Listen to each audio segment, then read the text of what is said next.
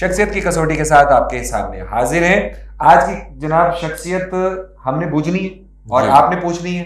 आपने पूछनी आपने पूछनी है हमने पूछनी है। चलो जी हम पूछ लेते हैं और ये लोग बुझेंगे। स्टार्ट करते हैं लेकिन स्टार्ट से पहले भैया अगर सब्सक्राइब कर लिया है तो बड़ी मेहरबानी बहुत शुक्रिया। आपने ऊपर एहसान किया क्योंकि नॉलेज आप ही को मिल रहा है हमें थोड़ी मिलेगा। हमें तो मिलेगा गूगल से खैर। आजकल तो हमने जो एक नया सिलसिला स्टार्ट किया हुआ है वो ये है कि हम कसौटी के दरमियान में ही किसी भी टाइम एक सवाल करते हैं अपनी ऑडियंस से। और आप लोग उसका कमेंट में जवाब देते हैं हमसे रब्ता करते हैं और आपको एक गिफ्ट भेजा जाता है फोर स्टार कैफ़े की तरफ़ से। गिफ्ट भी मिलता है नॉलेज भी मिलता है। और नॉलेज भी मिलता है और एज ए चैलेंजर भी आप हमारे साथ रब्ता कर सकते हैं। नंबर आपकी स्क्रीन पे आ रहा है। है आप हमसे रब्ता रब्ता करें करें हम आपके साथ टाइम सेट करेंगे और कसौटी खेलेंगे। और आप हमें हराएँगे हमें बड़ी खुशी होगी। चलिए जी बहुत बहुत शुक्रिया। और इसी अनाउंसमेंट के साथ स्टार्ट करते हैं।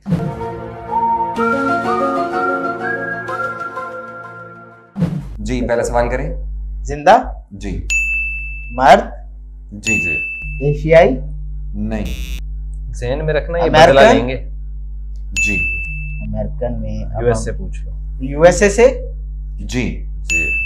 आपको सियासत और हुकूमत से? नहीं। शोबिस से?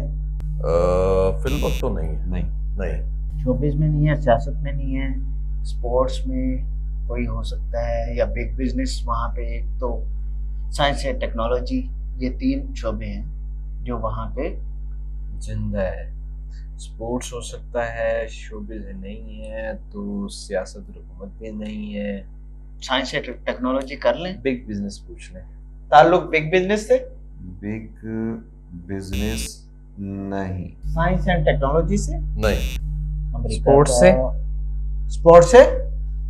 जी जी। स्पोर्ट्स अच्छा वहाँ पे एक रेसलर रेसलिंग है। अच्छा उसके बाद वो लंबे कदों वाले जो हैं वो खेलते हैं। वो बास्केटबॉल बास्केटबॉल लंबे कदमों वाला। बास्केट है वहाँ पे एक। कदमों वाली? बॉल अच्छा ये हो ये लंबे कदों वाले। यार वो मुझे उसका नाम वही उसमें छोटी कद वाला कहाँ खेलेगा बास्केटबॉल मुझे बताए। अच्छा लंबे कदों वाले। कदम हाँ। कदमों वाले। कदमों वाले नहीं कदों वाले का है। कद्दों वाले कद्दों वाले। रेसलर बास्केटबॉलर अच्छा वो ये स्नोकर प्लेयर वो कहाँ वहाँ पे कोई स्नूकर को बेसिकली तो यूएसए में स्नोकर कहा भी नहीं जाता। वो तो उसको कहते हैं एट बॉल पूल ना वो स्नोकर उनको पता ही नहीं है। आप किसी अमेरिकन को स्नूकर कहो ना वो कहते हैं ये कौन सी गेम होती है। उनको एट बॉल पूल का ही पता है उनको पूल पता है बेसिकली ना। ये फुटबॉल और सॉकर के साथ भी होता है। यस हाँ बिल्कुल ऐसी है वो एक वो रग्बी है। वो उसको फुटबॉल कह रहे होते हैं। हाँ, स्पोर्ट्स से ताल्लुक है ना? ऐसे है कुछ। है इस तरह की कंफ्यूजन ना। आप किसी बिल्कुल यूएसए के जाके बंदे को स्नूकर कहो तो वो आपको उसको समझ नहीं आती कि स्नूकर कौन सी गेम वो ग्रीन टेबल पे खेलते ही नहीं है। ओ कलरफुल होती है हाँ वो वो करते हैं।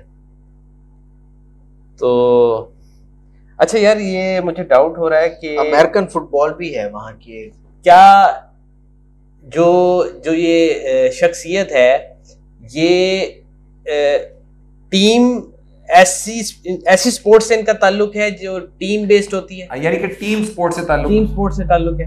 नहीं। इंडिविजुअल स्पोर्ट है। हाँ ये बहुत बॉक्सिंग बॉक्सिंग हो सकती है। स्नूकर हो सकती अच्छा है है। रेसलिंग हो सकती है। है ना? टीम स्पोर्ट्स वाला बड़ा अच्छा सवाल था। रेसलिंग हो सकती इंडिविजुअल गेम है जो भी है टेबल टेनिस हो सकती है या कोई ओलंपिक्स में किसी ने कुछ उखाड़ा हो यूएसए के किसी बंदे हाँ, क्या ने खड़ा कोई गोल्ड मेडल लिया हो गोल्ड मेडल लिया हो कोई सिल्वर मेडल कोई अच्छा। ब्रॉन्ज मेडल कोई मेडल लिया हो कोई हाँ रेस ये जो ट्रैक पे 100 मीटर और 400 मीटर रेस कर रहे होते हैं ये जो दौड़ते हैं। वो जो फास्टेस्ट वो भी तो है सियाफाम जो जिसको कहते हैं मैं फ़ैन हूँ उसका। उसका नाम है उसेन बोल्ट। हाँ बोल्ट बोल्ट उसको कहते हैं। बोल्ट। बिल्कुल बिल्कुल बोल्ट। इंडिविजुअल गेम है तो क्या ये गेम ओलंपिक्स में भी खेली जाती है? जी। ओलंपिक्स में भी जी। कम ये जो शख्सियत है ये जो शख्सियत है ये सियाफाम है? सियाफा मतलब ब्लैक। ब्लैक है? जी जी। बिल्कुल बिल्कुल बिल्कुल। सही है। ब्लैक कहना चाह रहे हैं ठीक है स्याफाम क्या इन्होंने ओलंपिक्स में कोई मेडल जीत रखा है? नहीं। नहीं। क्या ये बॉक्सर है? जी। क्या इनकी एज पचास साल से ज़्यादा है? जी जी। ये है और कोई भी नहीं है मेरे जान इसके अलावा बड़ा नाम ही कोई नहीं है वहाँ का। माइक टायसन हाँ चौधरी साहब चौधरी नाम है ना हाँ, इसके? चौधरी? इससे- इससे बड़ा नाम कोई नहीं है। इसका चौधरी नाम है? और स्या फॉर्म भी हो गया ब्लैक है। अच्छा इतना क्लियर नाम और ब्लैक है जवाब पता कैसे दिया हाँ हाँ ब्लैक है। हद होती है यकीन नहीं करो होता ना यार सही बात है यार। आजकल इंजेक्शन लगवा के कोई भी वाइट हो जाए। भाई आपने देखा नहीं था माइकल जैक्सन हाँ वाइट हो गया। व्हाइट का व्हाइट है व्हाइट से हो भी, कह सकते हैं।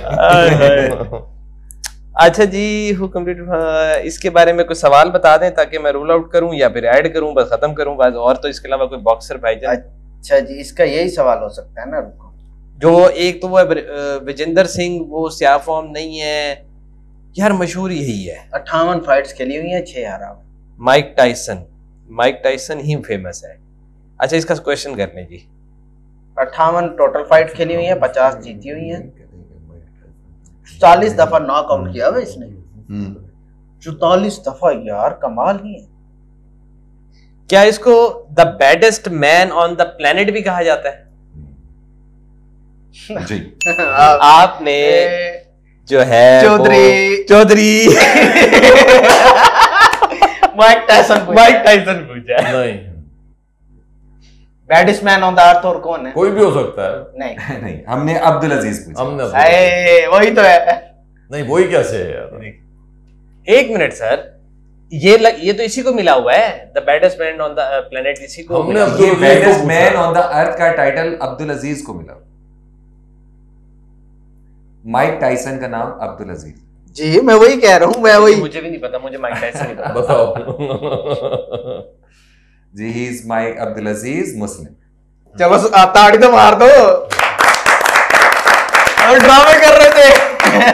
आयरन मैन ये मुझे नहीं पता था कि बाकी इसका नाम डायनामाइट मैन हाँ ये डायनामाइट नहीं नहीं सीरियस मुस्लिम है। अच्छा।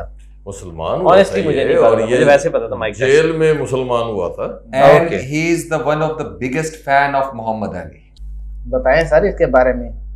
कुछ तो मैंने बीच बीच में ही दे दी जी इनके बारे में बताता हूँ। ये पचपन साल इनकी एज है। जनाब ब्रुकलिन जिसका एक हमने कसौटी खेली थी जगह की तो वहाँ पे हमने गोल्डन गेट और ब्रुकलिन ब्रिज की बात की थी। तो ये उसी जगह पर ब्रुकलिन न्यूयॉर्क सिटी का जो ब्रिज है वहीं पर आसपास के इलाके में ये इनकी जन्मभूमि है घूमने फिरने की जगह है।